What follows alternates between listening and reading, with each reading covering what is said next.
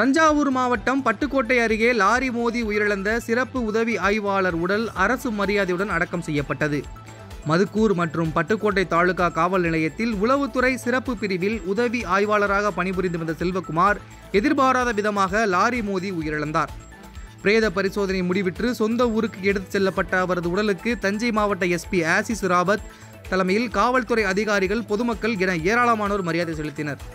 தொடர்ந்து அவரது உடல் ஊர்வலமாக எடுத்துச் செல்லப்பட்டு தஞ்சை சாலையில் உள்ள மின் மயானத்தில் குண்டுகள் முழங்க அரசு மரியாதையுடன் அடக்கம் செய்யப்பட்டது.